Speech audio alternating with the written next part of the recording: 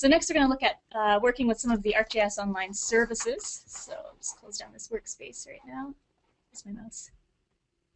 There we Your are. mouse is gone. Too many monitors Wandering. going. okay. So I'll just open this up. Second folder. So we'll be sending people all these um, workspaces afterwards, although we will take our password out of them. Yeah. Don't need everyone using the same R account. Okay. Okay. Wow, you got a bunch of green things in there. What's going on with that? Yeah, so I've got this workspace that combines a few of the different uh, custom transformers that we have for interacting with the ArcGIS online services. Uh, so the first one I've got here, the ArcGIS Online Geocoder. So I'm bringing in some GML data. Uh, it contains information about fire halls in the city of Vancouver. Uh, this data has no um, geometry associated with it right now, but I do have an address to tell me the location of these fire halls. Uh, so what I'm going to do is use the ArcGIS Online Geocoder to use ArcGIS's uh, geocoding service to take those addresses and build points from that information. Ah, okay. Yeah, it does a fine job of that. So I can go inside here and show you the parameters. Again, it's the ArcGIS Online account, and then I can tell it um, Yep. which attributes to use for the addresses. Yep.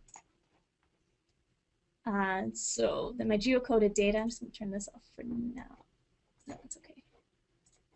No, it's okay. So now you're going to take and do service area. No, what's that one doing? Yes, that's what I call drive time polygons. hmm And you're doing, where can I get in 5, 10, and 15 minutes? That's what that one's Yeah, so I just want to see what areas in Vancouver are within those drive times of the fire halls. So Okay. in case of an emergency, you know Yep. how close you are. And, And then- then, yeah, You're doing some routing down below too. yeah. So I also am using the uh, the routing service from ArcGIS Online to um, get the fastest route from one point to uh, from one of the fire halls to another point that I've created in here. So say there's an emergency Yep. and they want to know exactly how to get Yep. to that location. So that could come from a web service, that point, or yeah, something. Yeah, so it could come from Yeah. anywhere. Yeah. Yeah. And then you're outputting this to three things at once. Is that right? Yeah, that's right.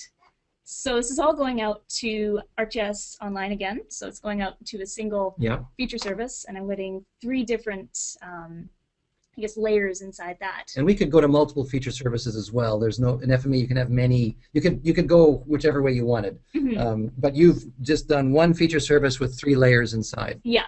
all so right. I've got one layer for the uh, drive time polygons down here, another one for the actual location of my fire halls, and then the last one, uh, line to show the route from the fire hall to the location of interest. So you're gonna let her rip. Yeah, so I'll try this one out too. So just let that run. Okay. So we're reading. How many fire halls are there?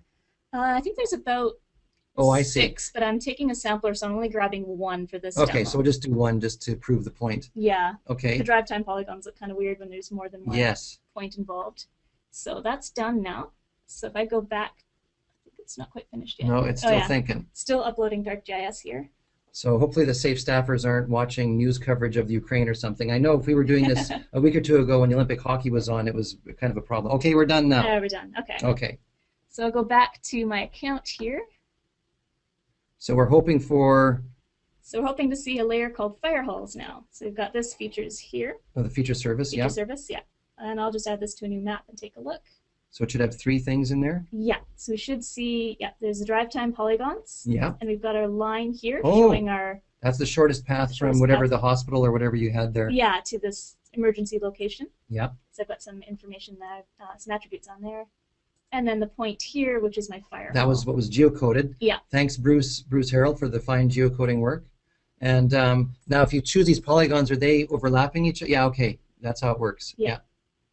So they they uh, yeah. Okay. That's great.